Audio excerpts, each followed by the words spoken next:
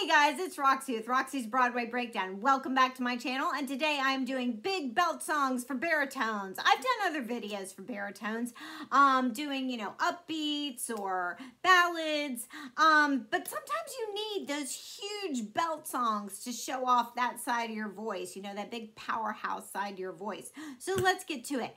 So from Kiss Me Kate, um, the character Fred does Were Thine That Special Face, and Will Chase did this in the revival. And, you know, he's got that huge, beautiful baritone uh, voice. He's got a huge range, a lot of vibrato.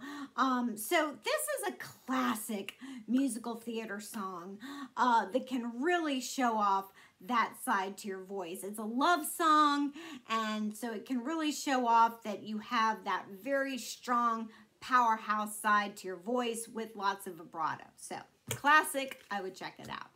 Um, from Bridges of Madison County, the song uh, It All Fades Away. Now, Steven Pasquale did this uh, role. He created it. And he's got more of a baritone voice that has a lot of like brightness to it. So if you want to show off like those bright notes to your voice, like a lot of openness and really get that belting side to your voice out that way with like bright, open, soaring notes, this would be a good song for you. From Beauty and the Beast, the Beast does If I Can't uh, Love Her, and it's a torch song. So if you want to show out, show off the depth and the power side to your voice and like a big, rich love song that's got some depth to it, this would be a good choice. Um, from Good, You're Good Man, Charlie Brown. Charlie Brown sings The Kite, and it's fun and upbeat and kind of light, but it does have some big notes in it. So I put that on the list.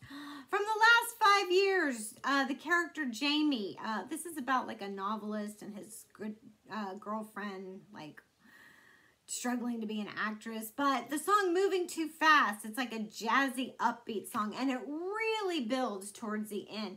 Norbert Leo Butz created this role. So I'm naming some of these huge baritone voices that have very notable voices because, you know, if you feel like if your voice is in line with one of these voices, you might think, oh, okay, I'm, I'm drawn to that one. But if you've got a good baritone voice, you can really sing anything. Um, all right, from Natasha Pierre and the Great Comet of 1812.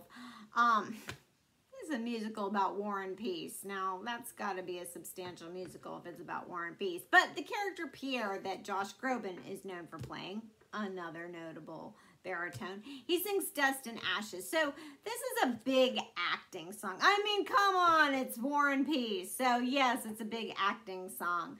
But yes, um, it's got a lot of depth to it um, to pull this off. And it is another powerhouse song. Um, from Ragtime, which is about immigrants in the early 20th century, um, make them hear you. And the character Coalhouse does it. Now, I would put this more in like a deeper baritone range, like almost baritone bass.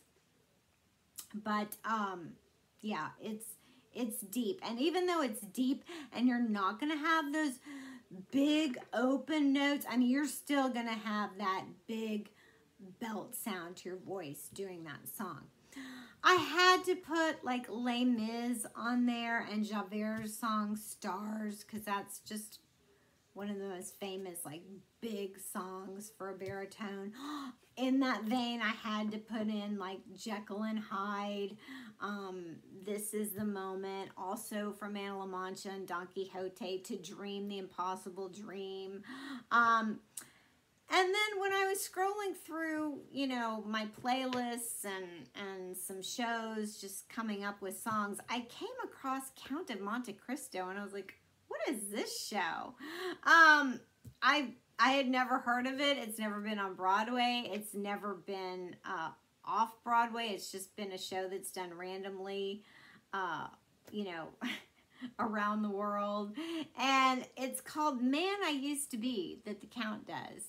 And it's actually a beautiful song. And it's a huge belt song, like classic big belt songs for a baritone. And it's beautiful. And it's along the lines of a This Is the Moment or To Dream the Impossible Dream. So if you're tired of doing those, you know, as just a standby classic, um, take a listen to that because I, probably no one else will be doing that. So there you go. There's my list. If you have some that, you know, you love, uh, please put it in the comments below. Subscribe to my channel. Check out all my other videos. And I'll see you in the next.